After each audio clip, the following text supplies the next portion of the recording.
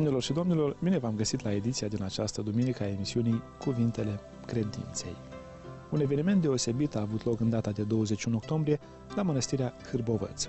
Și anume, la acea dată, aici a fost prăznuită icoana Preasfintei Născătoare de Dumnezeu de la Mănăstirea Hârbovăț, iar în cinstea ei s-a oficiat prima slujbă care a fost compusă special pentru ca să fie cântat atunci când este prăznuită respectiva icoană. Vom reaminti că, potrivit deciziei Sfântului Sinod al Bisericii Ortodoxe din Moldova, s-a hotărât, începând cu anul curent, icoana Preasfintei Născătoare de Dumnezeu să nu mai fie prăznuită la data de 14 octombrie, atunci când este sărbătorită sărbătoarea acoperământului Maicii Domnului și când orașul Chișinău își prăznuiește hramul, ci ca să fie cinstită în mod deosebit Preasfânta Născătoare de Dumnezeu prin icoana ei, făcătoare de minuni de la Hârbovăț, în prima duminică după acoperământul Maicii Domnului. Și iată că acest eveniment s-a produs în premieră aici la Mănăstirea Hârbovăț, prilej cu care au fost prezenți la slujba sărbătorească numeroși ierarhi ai Bisericii Ortodoxe din Moldova și, bineînțeles, numeroși creștini care o cinstesc în rugăciuni pe Preasfânta Născătoare de Dumnezeu și care aleargă cu credință și evlavie la Sfânta ei icoană de la Mănăstirea Hârbovăț. În cele ce urmează, vă invităm în cadrul emisiunii noastre să urmărim un reportaj de la acest frumos eveniment de la Mănăstirea Hârbovăț.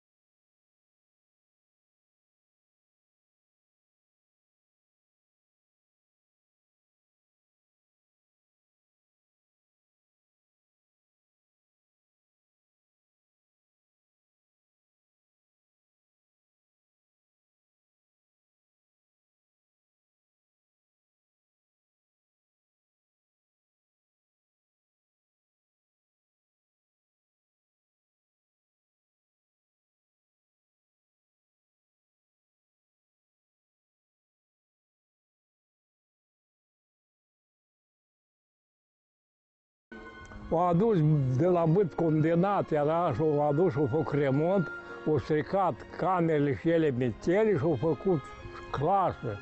Și în dormitoare era clasă, numai la etajul 3 era dormitoarele, dar aici, etajul ăsta și la de domnul și șala, apoi era, cum zic, dormitoarele, dar clasă.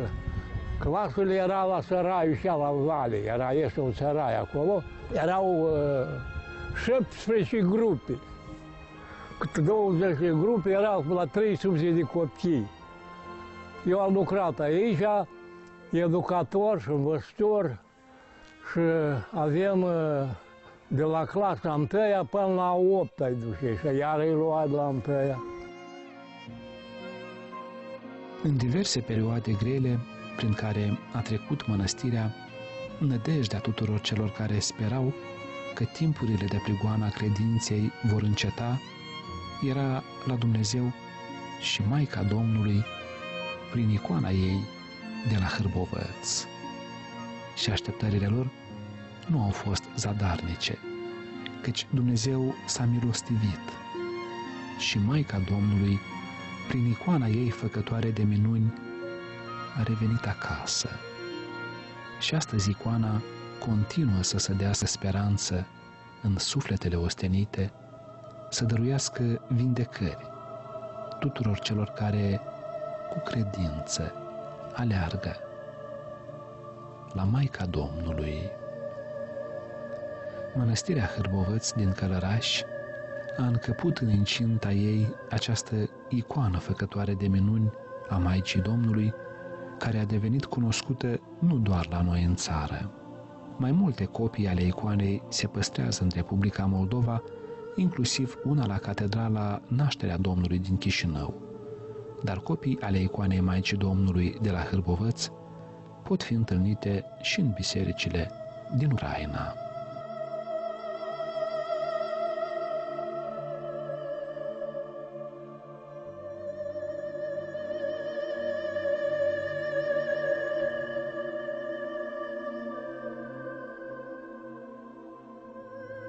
O atenție sporită se acordă acestui sfânt așezământ ca loc al aflării icoanei de la Hârbovăț.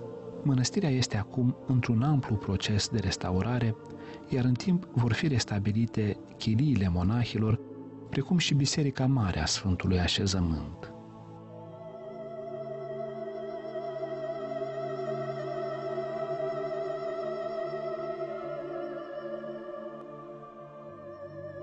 Icoanei Maicii Domnului de la Hârbovăț, îi se acordă cinstea cuvenită în cadrul Episcopiei de Ungheni și Nisporeni. O copie a icoanei se află și la Catedrala Episcopală Alexandru Nevski din Ungheni, iar în preajma vechii catedrale se înalță la momentul actual o nouă catedrală, în cinstea icoanei Maicii Domnului de la Hârbovăț, care va fi singura catedrală de la noi închinată acestei sfinte relicve cinstite deosebit de creștinii noștri.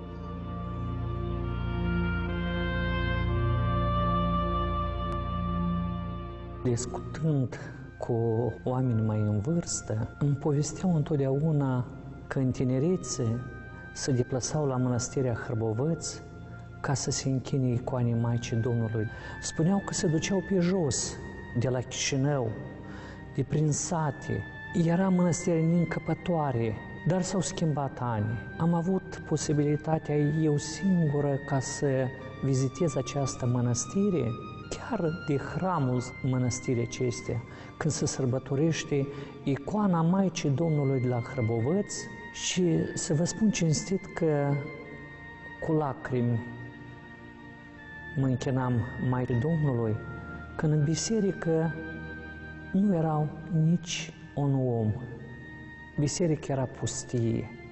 Nu mai vorbesc pe teritoriul bisericii să se afle cineva. Au fost câțiva ani de zile așa. Atunci mă gândeam care este pricina că în Moldova este unica icoană făcătoare de minuni, unica icoană are Moldova și de ce creștinii noștri s-au răcit față de Maica Domnului. Și am început singură să examinez de ce se întâmplă așa ceva. Am găsit niște răspunsuri discutând prin sate cu oamenii, pentru că eu așteptau pe Maica Domnului să se ducă prin satele lor. O așteptau pe Maica Domnului să se ducă în casele lor. Dar când e ziua Maicii Domnului, când se sărbătorește icoana în cinstea Maicii Domnului, nimeni nu se duce la Maica Domnului să mulțumească, să zică mulțumesc, Mamă Sfântă, îți mulțumesc că ne-ai ajutat în probleme care noi le-am avut, în necazurile, în scârbile noastre, pentru că avem foarte multe minuni care s-au petrecut. Câți oameni au primit vindicare, câți oameni au primit ajutor de la Maica Domnului, câte mame care lăcrămau pentru că nu puteau să nască? Și apropiindu-se de icoana Maicii Domnului la Hârbovăț, se rugau ca Bunul Dumnezeu să le dea un prunc. Maica Domnului le-a auzit rugăciunea și s-a bucurat. Această mamă, tată, s-au bucurat împreună că s-a aprins o lumânare în casa lor, un zâmbit de un copil care le-a dus bucurie. Am așteptat, am așteptat ani ca poate se vor trezi oamenii. Dar dacă am văzut că mănăstirea este pustie, atunci m-am adresat sinodului Bisericii Ortodoxe din Moldova ca să ia o decizie să se sărbătorească icoana Maicii Domnului la Hârbovăț prima duminică după data de 14 octombrie. Pe data de 14 octombrie se sărbătorește acoperământul Preasfinte Născătoare de Dumnezeu, sfinții care s-au proslăvit pe pământul Moldovei. Și atunci am zis că ar fi bine să ne ducem, să aducem cinste împreună cu poporul și cu arhiereie prima duminică după data de 14 octombrie. Anul acesta, să știți că cu bucurie, iarăși creștinii au mărturisit și spuneau că astăzi au văzut acea lumină cum a văzut-o când erau ei tineri și veneau să viziteze această mănăstire. Au venit creștini în toată Republica, și din România, și din Ucraina. Au venit ca să dea slavă Maicii Domnului. Pentru mine a fost cea mai mare bucurie, pentru că oamenii au simțit această chemare că Maica Domnului ne cheamă pe toți la rugăciune. Noi în toată seara și dimineața ne adresăm către Maica Domnului, dar să venim și noi să ne închinăm la această sfântă icoană făcătoare de minuni și să-i mulțumim pentru tot ce a făcut Maica Domnului în viața noastră, pe drumul care fiecare l-a ales de când s-a născut și până a îmbătrânit. Să dea Dumnezeu să ajungem și la anul sănătoș. La anul va fi adusă icoana Maicii Domnului la Hrbovăț, copia icoanei care spectează acum, în timp de un an de zile, în Grecia, va fi primită, în primul rând, în orașul Ungheni, de creștini și pe urmă, pe jos ne vom deplasa către mănăstirea din Hârbovăț ca să ajungem în ziua când noi vom sărbători icoana Maicii Domnului de la Hârbovăț. Dar e timpul să se trezească fiecare creștin, cât astăzi încă Maica Domnului se roagă pentru fiecare de noi, pentru că într-o rugăciune către Maica Domnului este scris cum, mamă, nu se desface pământul să ne înghită de vii pentru păcatele noastre? Vedem câte nenorocire astăzi se întâmplă în lume. Câtă durere astăzi aproape nu este familie unde să nu fie câte o nenorocire. De aceea, noi astăzi trebuie să înălțăm rugăciuni către Maica Domnului. Dar, în primul rând, nu înțeleg iarăși care este pricina că creștinii noștri se depărtează de biserică. Să știți că pricini poate sunt multe. Și noi întotdeauna zicem că acela este vinovat, că am intrat în biserică și cineva mi-a făcut observație și este vinovat. Găsim întotdeauna că cineva este vinovat. Un tânăr se apropie odată de duhovnic și îi zice, Părinte, eu mai mult la biserică nu o să mă mai duc. Atunci duhovnicul îi spune, dar care este pricina? M-am mintit de una, de alta. Atunci duhovnicul îi spune, frate, uite-te, îți dau un pahar plin cu apă și să înconjur biserica de trei ori, dar să nu picure nicio picătură de apă din pahar jos. Și după aceasta fă ce îți dorește inima. Acest tânăr a zis, bine părinte, a înconjurat biserica de trei ori și când se apropie de duhovnic și zice, părinte, nici o picătură de apă din acest păhar nu s-a vărsat. Atunci părintele îl întreabă, frate, tu ai auzit că nu departe de biserică, în partea dreaptă, s-a auzit cineva o muzică și se cânta acolo așa urât? N-am auzit, părinte. Măi, frate, uite-te la cutare casă alături de biserică, cineva vorbeau niște vorbe urâte. N-am auzit, părinte. Mai din partea stângă ai văzut niște copii cât de urât se comportau și vorbeau urât, parcă n-aveau educație creștină. N-am auzit, părinte. Ei, vezi, frate, n-ai auzit nimic pentru că te uitai să nu picure nicio picătură de apă din pahar. Așa fă și tu. Când vei intra în biserică, să nu te uiți cine și ce o să zică, dar tu să te uiți că ai venit la Hristos și în inima ta să-L ai pe Hristos, pe Mântuitorul, pe Dumnezeu și atunci să știi că nu o să te intereseze nimica. Gândește-te ce vrei tu, în primul rând, ca să dobândești. Diavolul umblă alături de om permanent, cu ani, ca să-l dezbată pe om de la credință, să-l dezbată pe om de la calea cea dreaptă. Dar noi suntem slabi. Noi puțin citim Biblia, puțin citim Sfânta Evanghelie, puțin citim viața Sfinților Părinți. Noi nu avem o educație creștină corectă și atunci noi repede ne smintim. Dar să știți că pricina este că de cine răcim? Pentru că rar ne împărtășim cu Sfântul Trup și Sfântul Sânge a Domnului nostru Iisus Hristos. Și dacă noi ne vom împărtăși mai des, atunci să știți că va fi foarte liniștit sufletul nostru. Pentru că noi suntem învățați să ne împărtășim mai în patru posturi, dar în afară de aceste patru posturi este ziua Îngerului Păzitor, este ziua de naștere, dar nu este păcat chiar și o dată în 40 de zile să te împărtăși și de aceea sunt atâtea precini și nenorociri în viața noastră, pentru că noi nu-L avem pe Hristos în sufletul nostru.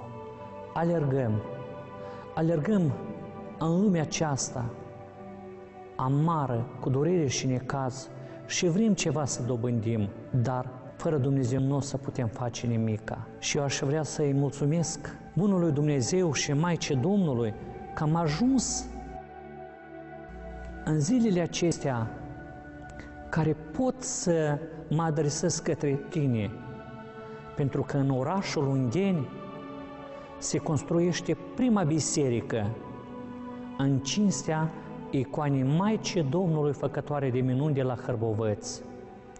Au trecut sute de ani și în această țară nu este nicio biserică în cinstea icoanei Maicii Domnului Făcătoare de minuni. În mănăstirea de Hârbovăți, fiecare care ați vizitat-o, o vedeți în ce stare este, în ce stare noi am primit-o. Și mă dore sufletul că această perlă, această mănăstire este într-o stare care de plâns, să zicem noi, care ne numim cu toții creștini ortodoxi, dar uităm de casa Maicii Domnului.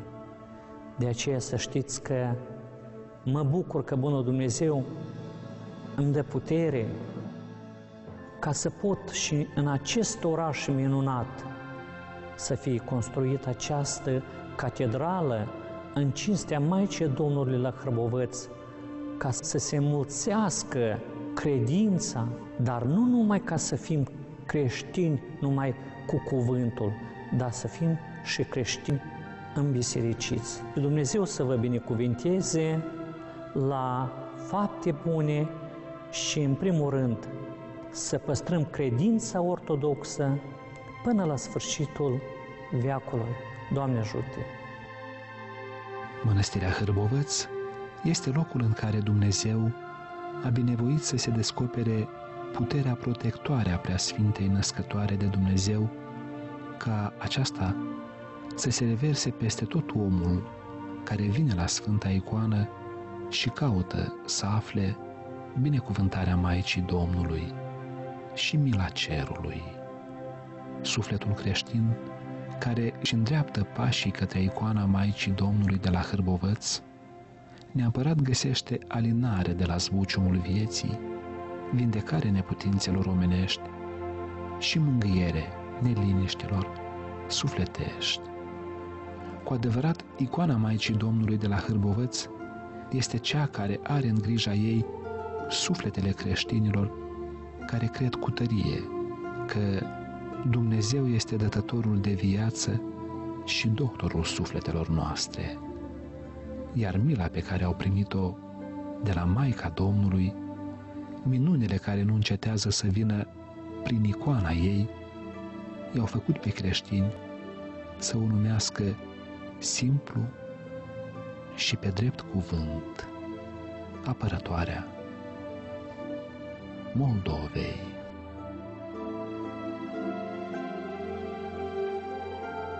Așadar, doamnelor și domnilor, vom reaminti că, potrivit deciziei Sinodului Bisericii Ortodoxe din Moldova, din vara anului curent, icoana Preasfintei Născătoare de Dumnezeu Făcătoare de Minuni de la Mănăstirea Hârbovăț va fi prăznuită an de an în prima duminică de după acoperământul Preasfintei Născătoare de Dumnezeu. Este o sărbătoare prin care se aduce cinste deosebită acestei relicve a neamului nostru, acestei cu adevărat ocrotitoare a Moldovei, așa cum este numită Sfânta Icoană, păcătoare de minuni a Maicii Domnului de la mănăstirea Hârbovăț.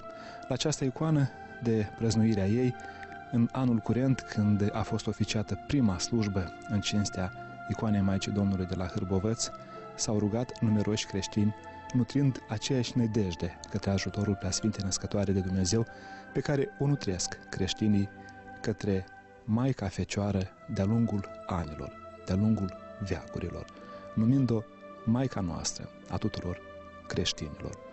Dumnezeu să ne ajute ca Maica noastră a tuturor creștinilor să ne fie cu adevărat ocrotitoare, să fie cu adevărat ocrotitoare a țării noastre, așa cum o numim prin icoana ei, făcătoare de minuni, de la Hârbovăț. Aici, doamnelor și domnilor, încheiem emisiunea noastră de astăzi, iar duminica viitoare, ca de obicei, vă așteptăm la o nouă ediție a emisiunii Cuvintele Credinței. La revedere!